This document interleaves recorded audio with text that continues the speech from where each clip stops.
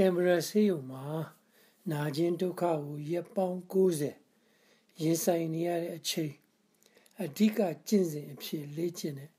ဘာပဲလုပ်လို့သည်နိဗ္ဗာန်ကိုမျက်မှောက်ပြုနိုင်တဲ့တခုတည်းသောကျင့်စဉ်ဟာတတိပဋ္ဌာန်၄ပါးတဲ့လွန်ခဲ့တဲ့နှစ်ပေါင်း90လောက်ကတောင်ပုလူဆရာတော်ဖရာကြီးကိုဦးစင်းကိုယ်တိုင်မေးလျှောက်ခဲ့မှုတဲ့ မေးခွန်းတစ်ခုရှိတယ်။ဂေါရမမြတ်စွာဘုရားဘယ်လိုတရားတွေကျင့်လို့ဘုရားဖြစ်သွားတာလဲ။ဘာပဲလို့လို့သိကွာတဲ့။တခွန်းနဲ့ဖြေလိုက်တဲ့ဆရာတော်ဘုရားကြီးရဲ့စကားအတိတ်ပဲထဲမှာအဓိကကြတဲ့ဝိပဿနာကျင့်စဉ်တွေအကုန်လုံးလိုလိုပါဝင်နေတာကိုသတိထားမိတယ်။ဘာပဲလို့လို့သိတစ် ဘာပဲလို့လို့သိကွာဆိုတာပြစ္ဆုတ်ပံတဲ့တဲ့ရဲ့လက်ရှိအချိန်တိုင်းမှာဘာတွေလုပ်နေလဲဘာကြောင့်လုပ်နေတာလဲဘသူကခိုင်းလို့တစ်ခုပြီးတစ်ခုပြုတ်လုပ်နေတာလဲကိုဘာလုပ်နေတယ်ဆိုတာကိုကိုယ့်အကူသိအောင်လက်တွေ့သိခိုင်းနေကျင့်စဉ်ဖြစ်နေတယ်တစုံတရာကိုမြင်လိုက်လို့အတန်တစ်ခုကိုကြားလိုက်လို့အနံ့အရသာအထီးအတွေ့စတယ်အာယုံ6ပါးဟာ အကြောင်းတိုက်ဆိုင်တိုင်းစိတ်မှာဖြစ်ပေါ်လာပြီး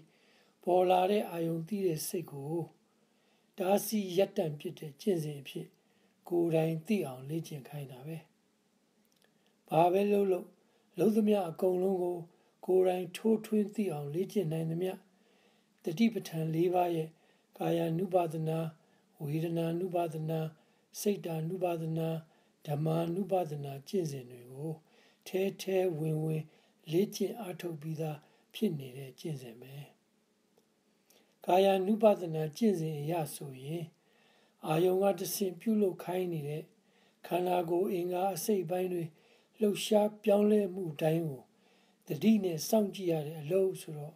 တတိစိတ်ကိုအဆက်မပြတ်အသုံးချနေရတဲ့ကျင့်စဉ်ပဲဝေဒနာနုပါဒနာကျင့်စဉ်အရအခုလက်ရှိပြစ္ဆုတ်ပံတဲ့တယ်မှာ စိတ်ထဲဖြစ်ပေါ်လာတဲ့ခံစားမှုတွေကိုကွဲကွဲပြားပြားသိအောင်တတိနဲ့စောင့်ကြည့်ရင်ဘယ်လိုခံစားမှုပဲဖြစ်ဖြစ်ကောင်းကောင်းဆိုးဆိုးတက်တန်းခဏလေးပဲရှိတယ်ဆိုတာကိုကိုယ်တိုင်သိစေတဲ့ကျင့်စဉ်ပဲစိတ်ဓာနုပါဒနာကျင့်စဉ်အရဆိုရင်လဲပြစ္ဆုတ်ပံတဲ့တဲ့မှာအကြောင်းမျိုးမျိုးကြောင့်ဖြစ်ပေါ်လာတဲ့စိတ်ကိုရှုမှတ်ရတာဆိုတော့အာယုံနဲ့အာယုံသိတဲ့စိတ်တွေ စုံပေးတဲ့နေရာကိုတတိနဲ့စောင့်ပြီးကြည့်ရတဲ့ကျင့်စဉ်ပဲဥပမာမြင်စရာအာယုံနဲ့မျက်လုံးနဲ့စုံလို့မြင်သိစိတ်ဖြစ်ပေါ်လာတာကိုသိဖို့နဲ့မြင်သိစိတ်ဖြစ်ဖြစ်ချင်းချက်ချင်းရပ်ဖြစ်တဲ့တတိထားမှုဟာပေါ်လာသမျှစိတ်အကုန်လုံးဘာကြောင့်ဖြစ်ပေါ်လာတယ်ဆိုတာသိသလိုပေါ်လာသမျှစိတ်တိုင်းဟာလည်းကောင်းကောင်းဆိုးဆိုးဖြစ်ပေါ်ပြီးတာနဲ့ဘာစိတ်မှလက်ကြံမရှိအောင် ပြက်ပြောက်သွားတာကိုပါသိစေတဲ့ကျင့်စဉ်ပဲဓမ္မာနုပဒနာကျင့်စဉ်အရာအာယုံ6ခုနဲ့ပတ်သက်ပြီးလောဘစိတ်တွေဒေါသစိတ်တွေမာနစိတ်တွေပြင်းနေတဲ့စိတ်တွေပြန့်လွင့်နေတဲ့စိတ်တွေတွေးဝေငေးမောနေတဲ့စိတ်တွေမိမိစိတ်ထဲမှာရှိနေသေးလားမိမိကိုမိမိစစ်ဆေးကြည့်ရမယ်တဲ့ရှိနေသေးရင်ဘာကြောင့်ရှိနေသေးတာလဲ ဘာကြောင့်အရှိခံနေတာလဲရှိနေတာတွေကိုဖယ်ထုတ်ပြဖို့မကြိုးစားဘူးလားစိတ်အငြိကြီးဖြစ်စေတာတွေတခုမှမကြံအောင်ဖယ်ထုတ်နိုင်တဲ့အထိရှင်းပြပြီးပြီလားတဲ့တတိဝိရိယဓမ္မဝိဇယပီတိပတ္တိသမာရိဥပခာဘုဇင်ခုနှစ်ပါးနဲ့မိမိစိတ်ကိုမိမိစစ်ဆေးရလားတဲ့ဒုက္ခဖြစ်ရတဲ့အကြောင်းဟာ လိုချင်နေတဲ့လောဘစိတ်တဏှာကတဆင့်အာယုန်တွေညှိတွယ်သွားတဲ့သမှုတရားကြောင့်ဆိုတဲ့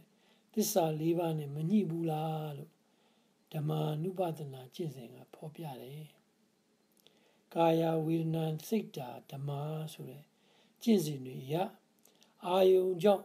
ဖြစ်ပေါ်လာတဲ့စိတ်တွေကြောင့်သာဒုက္ခတွေဖြစ်နေတာပဲလို့သဘောပေါက်လာစေတယ် ဒါပေမဲ့သတိထားမှာကကိလေသာငြိမ်းအောင်အားထုတ်တဲ့အခါမှာခန္ဓာကိုယ်ရှိနေသမျှအာယုံ6ခုဆိုတာရှိနေဦးမှာပဲအာယုံတွေရှိနေသမျှအာယုံသိတဲ့စိတ်တွေဖြစ်နေဦးမှာပဲအာယုံသိတဲ့စိတ်တွေဖြစ်ခွင့်ရနေသမျှခံစားမှုတွေအာယုံအလိုရှိတဲ့တဏှာလောဘစိတ်တွေဖြစ်ပေါ်နေဦးမှာပဲဖြစ်ပေါ်နေတဲ့အကြောင်းတရားတွေရှိနေသေးရင်ဖြစ်လာမယ့်အကျိုးတရားဆိုတာတွေက ပေါ်လာနေဦးမှာပဲဆိုတဲ့ဒုက္ခဖြစ်ရခြင်းစိတ်တဘာဝအကြောင်းတွေသိစေတဲ့ကျင့်စဉ်ပဲဖြစ်ကြောင်းတွေဖြစ်စေတဲ့အာယုံသိစေရဲ့ခိုင်းစေမှုကြောင့်ပြုလုပ်မှုသင်္ခါရသဘောအကုန်လုံးမဲ့ညာအတိနဲ့ဖြတ်မှလာအမြင့်ပြုတ်မယ်ဆိုတာသိသွားစေတဲ့ကျင့်စဉ်ပဲဘာပဲလို့လို့သိဆိုတဲ့ကျင့်စဉ်ဟာတတိပဋ္ဌာန်၄ပါးကို ထဲထဲဝင်ဝင်အသေးစိတ် လေ့ကျင့်ရတဲ့ကျင့်စဉ်ပဲဘာပဲလို့လို့သိဆိုတာပေါ်လာတဲ့အာယုံကတဆင့်အာယုံသိတဲ့စိတ်ကပြုတ်လို့ခိုင်းနေတဲ့ပြောင်းလဲမှုအကုန်လုံးကို ပြောင်းရွှေ့တိုင်းပြောင်းရွှေ့တိုင်းတည်ပေးနေရတဲ့ကျင့်စဉ်ပဲအဓိကအချက်ကအာယုံပြောင်းလဲတိုင်းသိနေအောင်တတိထားခြင်းပဲတတိဆိုတဲ့စိတ်ရဲ့အဓိပ္ပာယ်ကမမေ့တာရှုမှတ်နေတဲ့အာယုံကိုအဆက်ပြတ်မသွားအောင်ဇက်တိုက် အမှတ်ရနေတာတတိဖြစ်နေတဲ့စိတ်မျိုးအမြဲတမ်းဖြစ်နေအောင်လေ့ကျင့်နေတာဒါပေမဲ့တတိထားတယ်ဆိုတဲ့ဖြစ်အောင်ပြုလုပ်နေတဲ့သင်္ခါရသဘောထဲမှာပါနေလို့ဝရဓမ္မသင်္ခါရစကားတော်အရာပျက်စီးခြင်းသဘောရှိနေတာကိုသိဖို့လိုတယ်။တတိထားနေတဲ့အချိန်မှာပဲတတိစိတ်ကရှိပေးနေတယ်ဆိုတာသိဖို့ပဲ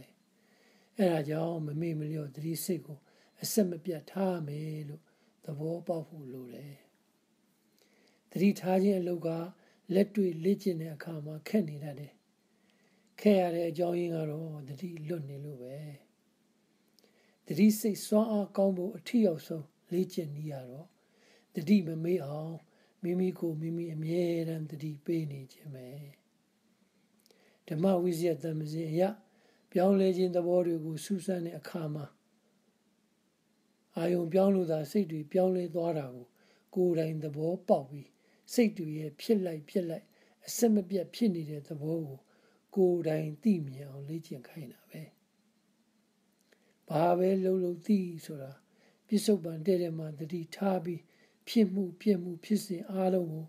မျက်နှာချင်းဆိုင်ရင်ဆိုင်ဖြည့်ရှင်းတဲ့နီးပဲဆိုတာသိအောင်လေ့ကျင့်တာပဲဒီလိုသိသွားတာဟာ စိတ်ကူးနဲ့တွေးပြီးသိတာမျိုးမဟုတ်ဘူးပြစ္ဆုတ်ပန်တဲ့တဲ့မှာတတိရှိလို့သာကိုယ်တိုင်သိသွားတဲ့ဉာဏ်မရှိတော့တာကိုမရှိမှန်းသိတဲ့ဉာဏ်